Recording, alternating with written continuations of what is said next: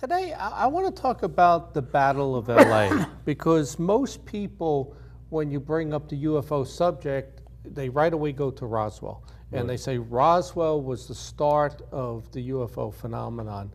And I disagree with that, and I've disagreed with a lot of people. I mm. say the modern era of the UFO phenomenon started in 1942 with the Battle of LA, Right. not 1947. I agree with you. And there's a lot of reasons to why that. So, but I want you to uh, talk about the Battle of LA, film people in. You know, there was a TV, uh, not a TV, a movie, Movie that came out right. A couple of years ago called uh, Battle, Battle LA, not Battle of LA. I heard about it. I thought, oh, this is going to be cool. It's going to be based on the actual incident, and then it had nothing to do with Right, it. You know, it was just the ships coming in and creatures, and it was your typical action, you know, sci-fi thriller with no reference to what really happened in 1942. so, Bill, tell us the scenario. What what was the Battle of L.A.? So, because people probably have no idea. What are you talking Battle of L.A.? We haven't had anybody on on U.S. soil uh, since the British. Well, what happened on uh, February 25th, 1942? Uh, radar around Los Angeles picked up an unidentified target 120 miles west of Los Angeles. At that time, they thought it was the Japanese coming in, so they had the aircraft batteries were alerted at 2:15 a.m. and were put on a green alert a few minutes later. Um, then what happened? They had the uh, airplanes. Uh, Fourth Interceptor Command was, warming up on the runways, waiting to go out, and they never left. They never left the ground for some reason. Uh, problem is, these planes were never ordered to go into action during the 51-minute period between the first air raid at 2:25 a.m. and the artillery firing at 3:16 a.m. What had happened? They had seen something in the sky. Okay, some people identified it. They said it was a light, and the width of the light, um, the object was around 800 feet in length, and it looked like an upside-down pointed shovel, and it had no openings, windows, portholes, hatches, seams, or lights. It had no propellers, exterior motors, or no sound, and had no wings. They actually fired 1,400 rounds at this thing, yeah. and nothing happened. I mean, it just go out. Yeah. So there were there were witnesses actually. They they not only had it on radar at uh, two twenty five in the morning, whatever you Right. said. They they had it on radar. They had military people see it, Right. and civilian people saw it. Now it is three months after Pearl Harbor, so Right, everybody was on edge. But uh, they ended up. Uh, Black, blackening out Blacked the out city. the whole town, Yeah, yeah. they think about Los Angeles at Right. three in the morning is blacked out and the sirens, the air raid sirens come on. So people are panicking, thinking the Japanese are attacking. And I think they had seen a Japanese sub off Well, it of. fired. It fired the night before, or Okay. three days before. Um, I forgot the town, but it actually um, did some damage in the town. And what they was thinking was it's very possible that the Japanese had uh, perfected uh, having airplanes hooked up to a submarine, Hmm. and that's how they got here. Yeah. But they had, I, I got here, I got a, I was an eyewitness to the event of that unforgettable February morning in February of 1942. This guy wrote a big article about this, 45 pages long. Uh, Wow. I was eight years old at the time my parents lived at 2,500 Strand in Hermosa Beach, right on the beach. Uh, we thus had a grandstand seat. While my father went about his air raid warden duties, my late mother and I watched a glowing object, which caught in the glare of the searchlights from both uh, Palos Verdes and Malibu, and surrounded by puffs of ineffectual, in, ineffectual anti-aircraft fire as it slowly flew across the ocean from northwest to southeast. It headed inward over Redondo Beach a couple miles to the south of our vantage point and eventually disappeared over the east end of Palo Verde Hills, today what is called Rancho Palos Verde. The whole incident lasted, at least from our perspective, about a half an hour, so we didn't have to time it. Like other kids in the neighborhood, I spent the next morning picking up pieces of shrapnel on the beach. Indeed, it's a wonder more people weren't injured by this stuff, as we were far from the only folks standing outside watching the action. In any case, I don't recall seeing any truly discernible configuration, just a small glowing, uh, slight lounge-shaped blob light, a single blob. We saw one object, not several, as some witnesses reported later. At the time, we were convinced that it was a Jap reconnaissance plane and the LA may be due for a major air raid in the near future. Remember, this was less than three months after Pearl Harbor, but of course it never happened. Later on, we expected them, but that is the military to tell us that was really up there was war, but that never happened either. Also, um, as a result of this, six people died. Yeah, yeah, there were 15 objects actually seen, right. 15, and six people died. Right. Uh, There was Three actually from heart attacks and three Yeah. from uh, shrapnel. shrapnel. Yeah, don't think about that. I mean, you're in LA, you just had the Japanese uh, firing up the coast at, Mm-hmm. at us, and now all of a sudden at three in the morning, the, the city's blacked out, sirens are going. I don't know what the population of LA was in 1942, half a million people, whatever. Everybody's waking up. You think this is it. You all of a sudden start hearing the anti-aircraft going ba-boom, ba-boom. Mm-hmm. 1,433 rounds. So three people had heart attacks Right. either well maybe three people a day die of heart attacks anyhow in LA. Right, I don't right. know, but three people were hit by shrapnel. Right. Can you imagine that?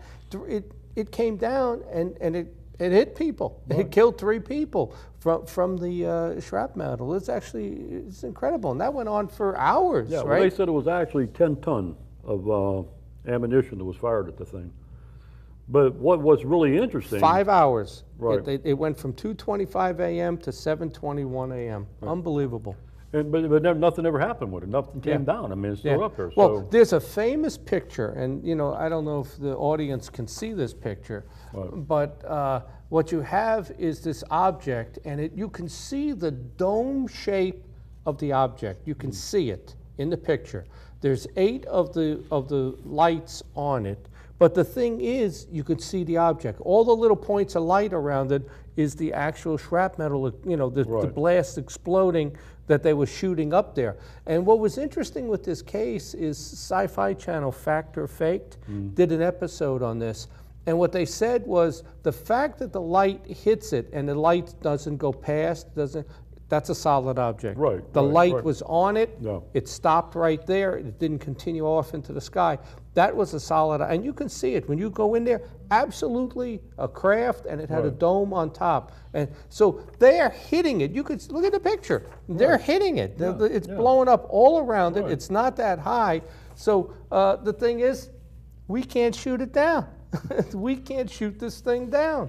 And uh, the actual uh, what happened was, and this is how it was in all of the cases back then, the newspapers got the information from the military. Right. You know, Roswell was, they got the story. This stuff made front page news, and here's the LA Times from uh, February, probably the 26th, because it's the next day, and the headline says, Army says alarm real, roaring guns mark blackout. So there's the, the LA Times newspaper on this. Now, you know, nowadays, can you get the a front page No, uh, no. Washington Post, LA Times? But all of the major cases back then, the uh, newspapers got their information from the military, Right. and then two days later, the military always changed the story and said it's not what- it was. what it it was. wa- it not, it's not what it was. But you know, they're, they're great picture, headlines. You know, and you know a lot of the NASA people like James Oberg, et cetera, they scoff at this case. He says this is little u, u, little f, little o for UFO. This is a major case, and there's more to it that we're going to talk about. Yeah. So what else? Uh, what else uh, the, transpired uh, with this? well, like I say, you had you had um, Well, you know what? You made a you made a comment about first time. There's three firsts with this case. Mm. all right, and this is important because everybody, like I said, everybody says Roswell. Well, what you know? What was this? Roswell. You know, they didn't they just do the uh, National UFO Day, right? Right. Initially, it was June 24th of Kenneth Arnold sighting. Now they changed it to July 2nd for Roswell. I'm so tired of hearing about Roswell. You know, Roswell got a lot of problems too. it, it mean, does, yeah. But know. get this, I, I did some research in, into this, and uh, you know, I put it in, in my book, and uh, this was the first time we fired on a UFO. Right. The first time we officially denied that it, it was a UFO. And get this, this is probably the most important one. The following day, they said it was a weather balloon. It was the first time we used the weather balloon excuse, not Roswell, when people say Roswell, because that oh, it was a weather balloon.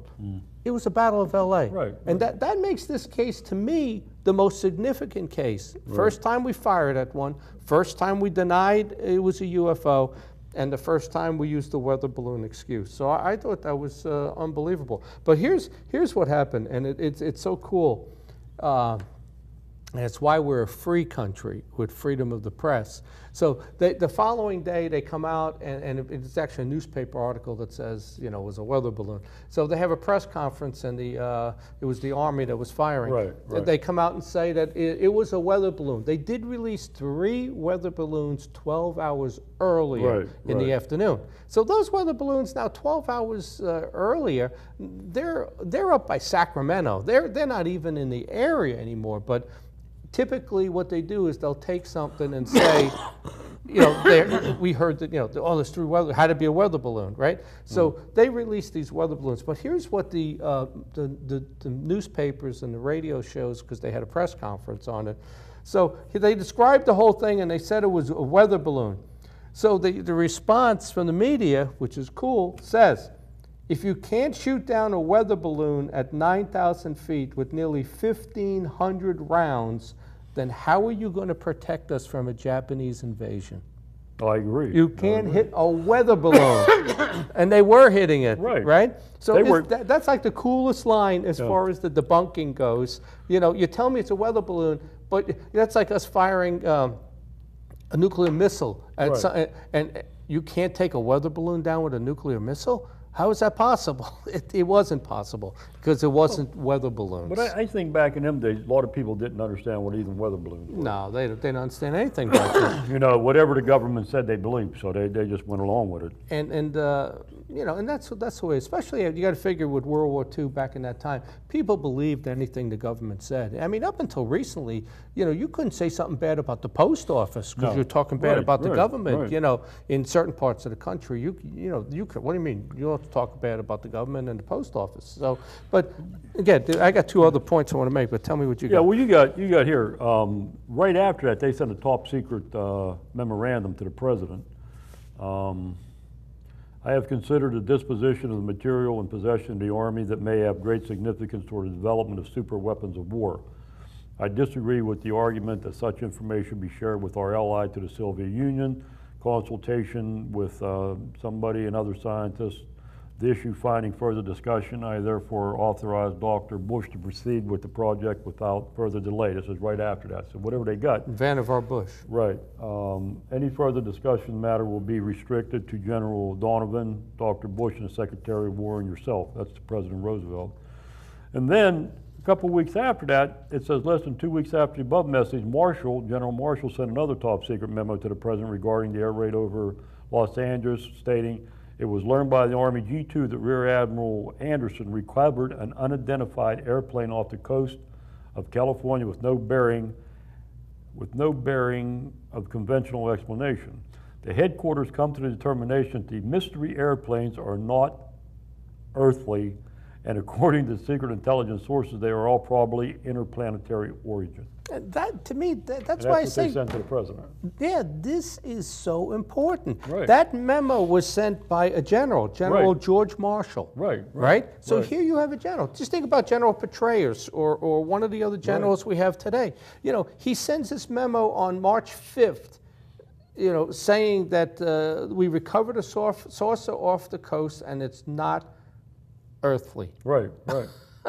You know, well, that's it's why an this airplane. is. It's not a conventional airplane. It's- Yeah. They think it's interplanetary. Yeah, and they think it's interplanetary. right. And uh, here's something else that's very important, and nobody ever talks about this, is also in this memo from General Marshall, he recommends that we start a group called the Interplanetary Phenomenon Unit, IPU. Right. And it is formed because there's a number of uh, me- memos that come up after, Mm. and, and Dr. Robert Wood, who's on the board of MUFON, has found Right. a number of memos where they reference the IPU, the Inter- Interplanetary Phenomenon Unit. So, how is this not the start of the modern UFO era in 1942? But I it think, has to be. Well, I, I, think what happened, this happened, and then Roswell came along. Well, Roswell Five was years later. Okay, it's, it's like another. It sat for 30 years. Yeah, Yeah. yeah, it's, that- it's like another episode we have here. Mm-hmm. And, and they made it big. I don't think Roswell was as big as it was until people started actually investigating it. Nobody really ever investigated this. But Roswell was something they could get their hands into. Yeah, and I think it was Stanton Friedman in 1978 or 79 Yeah. That uh, he was just like accidentally. I think he was down there doing a conference, and somebody said to him, "You need to interview this Jesse Marcel guy who had a piece of Roswell." Right. You know? Well, let's hold off on Roswell. There's one more important point to this that I think is hugely significant. When uh, you know, it's funny. Like I said, the Sci-Fi Channel Fact or Faked Hmm. did a show on whether this was real. As a matter of fact, they said it was real, Right. based on the fact that the lights were on the object, it was close enough to be shot down, and it, they couldn't take it down. They said this was all real. But now, uh, uh, get this, and I found this. Nobody has ever made this connection, and I was hoping that somebody would make this connection for the TV show. You know, and this is like stuff with Hangar One. They get their scripts and stuff, and I said, well, wait a minute, there's more to it. Right, Like I right. f- I, I made the connection between Ronald Reagan's diary Right. and McKinnon, where the diary said 300, we have a, a space crew of 300. And that's what McKinnon found when he hacked into the, the Pentagon Right, computers. right, right. But we have five sh- space shuttles that hold eight, that's 40. Reagan said 300, so that's real. He was trying to tell us. So um, I'm reading this, you know, this is called the Fire Officer's Guide to Disaster Control Right. right? It's a FEMA approved hazmat book. If you read it, it's actually cool. It tells the fire department what to do in case of a flood, tornadoes, hurricanes, ice storms, whatever it is, fires, whatever. So there's a 10 year old kid in 1942 who witnesses the Battle of LA. And you know who he is? Yeah, I wrote the book there, yeah. William M. No, excuse me, Charles W. Bahme, J.D. B A H M E. Right. Right. He witnesses it. So I'm reading this, and he said he included a chapter in the FEMA approved Fire Officer's Guide to Disaster Control. You open it up, chapter 13 in this Right, book right. is on UFOs. And let me tell you exactly what it says. Chapter 13 Enemy Attack and UFO Potential. The threat, uh, adverse potential, emergency action, and conclusions. And it's uh, that that part of the, of it on UFOs is 13 pages, Right. and it's chapter 13. Now, this guy, you know, he's not just Joe Right, Schmo. Right, right, right. Charles Bahme is, um, he goes on to become a naval officer. Right. He goes on to become an attorney, and he, he becomes the deputy fire chief of Los Angeles. So he teams up with William Kramer, who's the uh, PhD, who's the uh, fire chief of Cincinnati, and they write this book. So, what better witness would you have than this guy at 10 saw the Battle of LA, thought it was so important he included it in the hazmat book. This book is in every fire department in the country. But you talk to the firemen and they'll say They they ignore it. nothing- Yeah, they, they Yeah, don't even look They at it. ignore it. They don't but you know at it. what? You know, I'll ask you then. Where's the chapter on ghosts and the potential attack? Where's the? Where's the chapter on poltergeist, demons, and angels and how to handle it? It's not. The only paranormal thing, unexplained thing in here here is on UFOs. UFOs. Right, right. And I think, you know, that's why when the skeptics, well, uh, I got news for you. It's in the fire department's hazmat book. I got news for you. There was a course taught at the uh, Air Force Academy in Colorado. That's my proof. Hmm. Right, I right, show right. me. Yeah, yeah, Show I me. know, I know you're a big Bigfoot guy. Show me the art, art, Army manual talks about how, where does the manual that says how to handle the Bigfoot attack when they start coming in with their sticks. They won't there show isn't, us. There They won't isn't. show They won't. Well, there isn't one, but I'm just saying, it's there. It's there for that. And I But, think but, that but like I say, John, with this, I, I think that a lot of people, they, they, like your firemen, okay? They'll read this, and I think deep down inside they're thinking about it, but they don't want to come out and say, you know, I mean, it's like I talked to a lot of people, you know, about it, and, and you know, a lot of firemen. And I mean, I'll say, well, you got it in your, your, your training manual. Oh, I never seen it in there. Well, just go look at It's it. you there. know, and then they'll come back and they'll say, well, we don't take it serious. well, yeah, we don't. Yeah. I mean, Unless something happens, then they're gonna start taking it serious. Well, and, and that's why the author put it there. He Right. said, this has, he, and he wrote in there, he was a witness. Yeah. And this has to be in there, there has to be some protocols, what to do if they come back. That's why he put it in there. But I, I think that chapter should also be involved in a police manual. Because a lot of the stuff in there should actually be within the police department, so they know what to do too, because they'd be the you. first on the scene. But again, you know, I think that a lot of your police are starting to open up to the possibility right Mm-hmm. now. But firemen are still, you know, and, and the government is still saying that it don't exist. Yeah. And a lot of people believe it. I mean, they're government, you know, so. Well, that's why, you know, when you think about it, the, uh, the, the, just think about that. The fire department, I could just imagine, you know, I was head of security at UPS. If somebody told me, in, here's your procedure guide, but I don't take chapter 13 serious. Mm-hmm. It's, oh, you don't? You don't take a hazmat material found in your building serious? Right. You better take it serious. That's the way I would look at it. Every one of the things in here, you better take serious. right. It's FEMA approved and it's important. But so that's really how the government backfired by debunking UFOs and making fun of UFOs. We end up with uh, the fire department not taking UFOs seriously. Right, That's a problem. Yeah, yeah, that's a huge problem. It is. You know? But, but again, I mean, I, I think it's gonna take, it's actually gonna take a craft to land and something to happen before they start taking it serious. Yeah. Well, that's And, unfortunate, but that, know? that falls back on the Air Force and the CIA that debunked this for years. Right. That when it's like crying wolf, Fred. You, know, you cry wolf, you cry wolf. You make fun of every case. You you, you make up the, the worst explanations possible: balloons, swamp gas, you know, uh, moon dogs, sun dogs, whatever you want to call it, heat inversions, and, and they're not even possible when you looked Right. into it. So then, when you get the real case, I think they caused more damage. I understand why they're doing it. Mm. They don't want to panic. They don't Right, want right, you know right. crowd control, et cetera. But what happens when it it shows up and they're here to make contact? People have not been orientated to believe this, but it happens like you know, like Bill had said in in the previous show. You know, this happens in Pennsylvania 50 Right. times a day. We get a case, 600 cases a month, 10,000 cases around the world. But, but I, like I said, I think people are starting to realize more and more that there may be something out there. Mm-hmm. And I mean, I think a lot of people are looking at the government now saying, you know, they are, you know, they're lying about it. I mean, there's no doubt about it. Mm-hmm. But, you know, again, they're the ones that have the broadcast on TV. They're the ones that got all the stuff there. So they're the ones that got all, the- all the, you know, um, what you call it, the, Well, but didn't the, uh, the fact that we have the internet, that's why people now are believing this. Right, right, Because you because- have yeah. alternative TV, Right. you have alternative channels, people go to the internet. The second most Google thing on the internet is UFOs. Yeah, That's see- where people are getting their information. But I think a lot of it is they have a lot of people that give false information.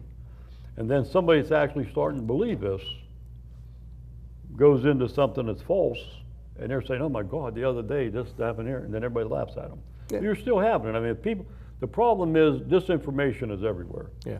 Well, You you know, it, it, you get, like we said, 80% of our cases are explainable. Right. I believe about 10% of the cases are hoaxes and fabrications Right. and stories. So you're really only left with 10, Right. 10%. So, you know, in Pennsylvania, we get 300 cases. It's 30 cases that are the real UFO. Well, somewhere around there, 50 cases. You know, you're basically looking at one case a week, 52, you know? You're, you're, in, in Pennsylvania right now, we're starting to get a lot of uh, cases where they're actually having alien contact. Yeah. I mean, which is totally different than even last year, year before last. I mean, now the aliens are allegedly coming down and talking to some of these people. It's like the case we got again, w- w- me and well, Sam, where the lady thing came down and burned her hand. I mean, again, they're putting things into people's heads now and stuff. So we're not really talking about crap. We're talking about things landing, people talking to them, and the whole nine yards there. Yeah, you know, I kind of keep an eye on um, what does NASA and them say when they start telling you that Kepler found a planet just like Earth, a little larger, a little closer, I believe it was to their sun. uh, but Based on the fact that their sun was larger, the planet's right. larger, it's basically the same environment. I'm saying to myself, they're getting ready to tell you. But don't you think that's odd too? What's his name, the guy in a wheelchair? Um, Yeah, yeah, I know who you're talking about. Two days before that, they're gonna spend a billion dollars to find another planet. And that's all to get him the billion dollars. Yeah. And then two year, two days later, they find the planet. I Yeah, mean, you know, really. Yeah, well, I believe, yeah. I agree. That was like when Clinton first said, made that announcement that they found, had a moon rock that came up in the Antarctic, and when they cut it open, there are bacteria in it, so there's life in space. He got all the funding to do this Right. stuff, and that's, a lot of like- times you have to look at it with a grain of salt, But like because you there's money Reagan, behind yeah, everything. Reagan with the three hundred, there is another space program. Oh, I agree that we're you. not, we're not, you know, privy you. to, and they've been to Mars already, I believe. I, I agree with You that also. They've been there and, you know, it- it's there. I'll give you a good example. December of 2012, Mm. I'm watching CNN, one of the news channels, and they show the X-37B Right. landing. It's a drone space shuttle. It's Right. been up since 1999. Right, right. They first told you about. it. That's why when Anderson Cooper says, says when I was on his show, well, the government's incompetent, can't hide anything. I disagree. Oh, yeah, they The can hide anything. Pentagon, the intelligence communities are world class. So I'm sitting there looking at this thing.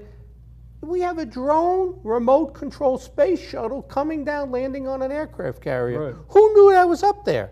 And if they're telling you about that, what do you think they really have? They ran this thing for 12 years, 13 years. We don't need it anymore because we got the anti gravity craft Right. now. But you remember back in the sixties, they had the U two. I Mm-hmm. mean, the, not the U two, the, um, Yeah, the spy planes, no, the, um, the Blackbird, the U 2. it was a little, little, little plane they used to drop off of there and it would start flying. It was like the one you just landed. Yeah. So if they had that back in the fifties, what capabilities do they have today? Well, yeah, I'm telling you. mean- Yeah, well, that's when Anderson said that, uh, you know, we, we covered up the Manhattan Project like Right, we should have. right. You know, the stealth bomber, Right. 12 years before we brought it out. The X-37B, 12 years before we brought it out. So, so Fred, typically when we say we're going to cover Roswell and did we ever finish cattle mutilations? Did we actually? We're going to do that in the next, next show. month, All next month. Well, we can't get to Roswell because that's our show. Thanks.